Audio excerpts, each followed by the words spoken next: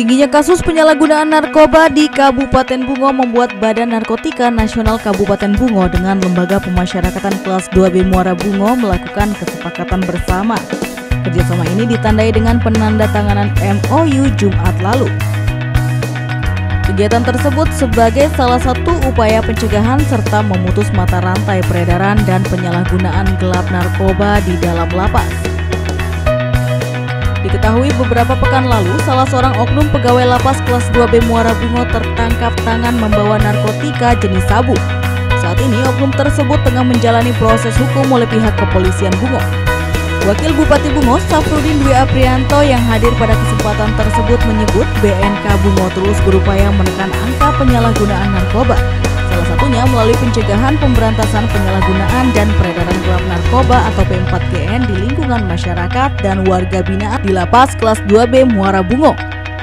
Apri mengatakan masih kurangnya pemahaman masyarakat terhadap bahaya barang haram narkoba menjadi salah satu faktor tingginya kasus narkoba di suatu daerah.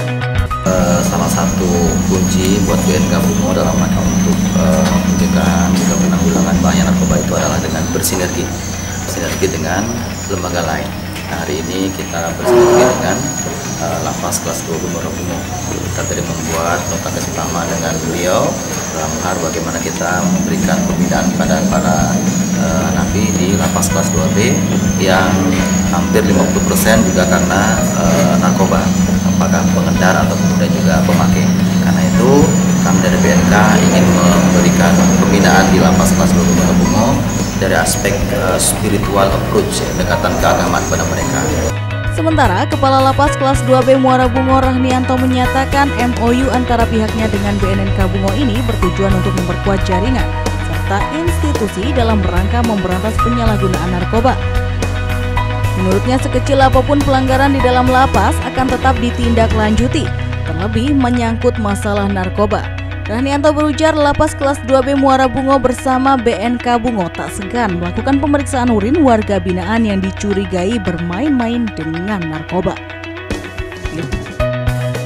September telah dilakukan penandatanganan MOU antara BNK dengan pihak bahwa MOU itu adalah atas permintaan pihak lapas kaitannya dalam penanganan P4GN di lapas Muara Bungo kita ketahui bersama bahwa masalah narkoba sangat-sangat uh, miris ya uh, karena ternyata masalah narkoba ini sudah merasuk ke lintas ya uh, masyarakat.